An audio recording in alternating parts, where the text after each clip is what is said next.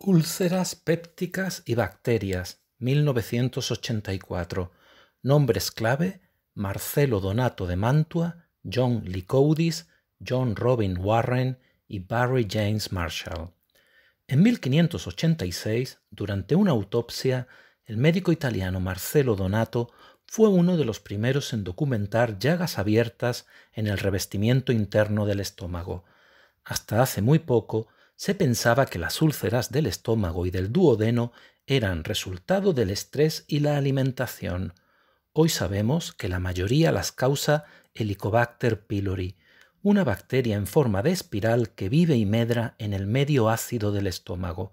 La aceptación de esta bacteria como causa de las úlceras fue fruto de los esfuerzos de los investigadores australianos Robin Warren y Barry Marshall.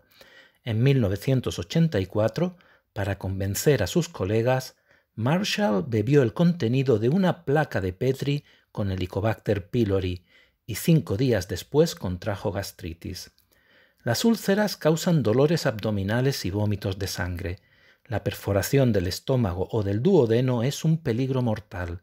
Cuando Helicobacter pylori coloniza el estómago, provoca una inflamación crónica o disminuye la secreción de gastrina, que controla la cantidad de ácido estomacal. Helicobacter pylori se detecta por cultivos estomacales o duodenales, análisis de sangre en busca de anticuerpos y de heces en busca de antígenos y una prueba de urea en el aliento. El paciente toma urea radiactiva y si se detecta dióxido de carbono radiactivo en el aliento, es probable que la bacteria haya digerido la urea que contenía carbono. Se cree que esta bacteria se transmite por la comida, el agua y la saliva humana. Sin embargo, solo una minoría de personas con el Helicobacter pylori desarrolla úlceras, ya sea por una predisposición genética o por la virulencia de una cepa concreta de Helicobacter pylori.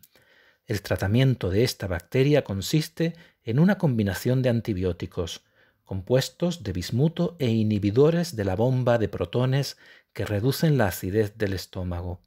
En 1958, el médico griego John Lycouris creó su propio tratamiento antibiótico para las úlceras, pero su obra fue ignorada por sus colegas.